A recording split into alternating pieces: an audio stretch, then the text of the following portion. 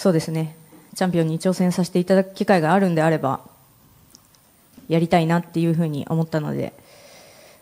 はい、この中で伊沢選手に勝てるのは私しかいないんじゃないかなっていうふうにも思うので、挑戦させていただけたら嬉しいです。というような言葉を聞いて伊沢選手はいかがでしょうか？その試合が組まれたら一生懸命頑張ろうと思います。